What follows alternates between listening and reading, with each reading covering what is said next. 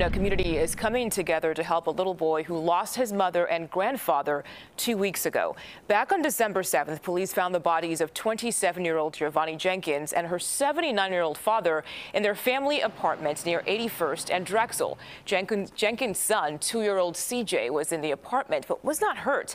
Today at 1.30, CJ's family and business leaders in Chatham are coming together so CJ can meet Santa Claus.